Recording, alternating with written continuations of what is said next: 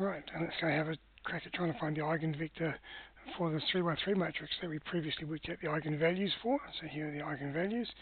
So we'll do it for lambda equals 1.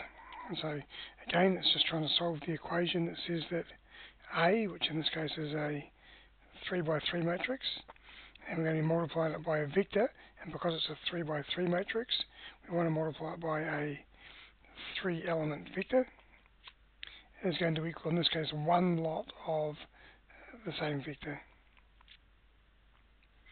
Okay, and the best way to do it is to expand the brackets out. So first row into the column gives us 2x1 plus 3x2 minus 2x3 equals x1. Second row gives us x2, sorry, x1 plus 4x2 minus 2x3 equals x2, and then we get 2x1 plus 10x2 minus 5x3 equals x3. And you can proceed any way you like from here, but often it's a good idea just to make them all equal to 0. So stick that x1 over that side.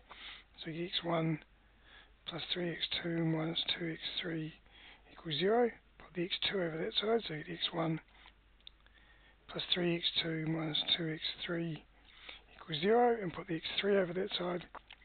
So we get 2x1 plus 10x2 minus 6 x3 equals 0.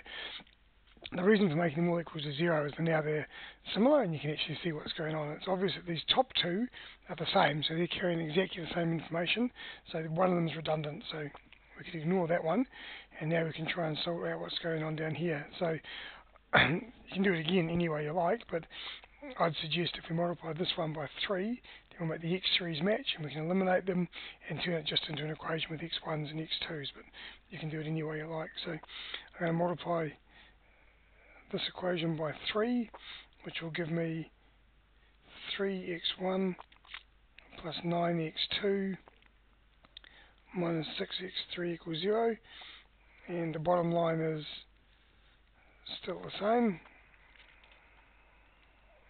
Yep, and if I subtract these things, I get 3 minus 2 is 1, 9 take away 1 is negative 1, nothing. Okay, so by implication, x1 has to equal x2, and if x1 and x2 are equal, and we stuck them back into any of the equations, say we stuck them back into this equation, we'd have 12 lots of this lot, minus 6 lots of x3 equals 0. So x3 has to be twice as big as either x1 or x2. And x3 equals 2 lots of x1. So my eigenvector is equal to the primary one will be 1, 1, 2 or anything of the form tt, 2t. So any any vector at all, which the first two elements are the same and the second one is double that element, will be an eigenvector that works when the eigenvalue is equal to 1. Okay, and for the negative one, I haven't got space to do it here, so I'll just write the answer in the corner here, and you can check it for yourself. So if lambda equals negative 1, then the appropriate eigenvector as any vector of the form tt3t. So the first two elements have to be the same, and the third element has to be three times the, the top two.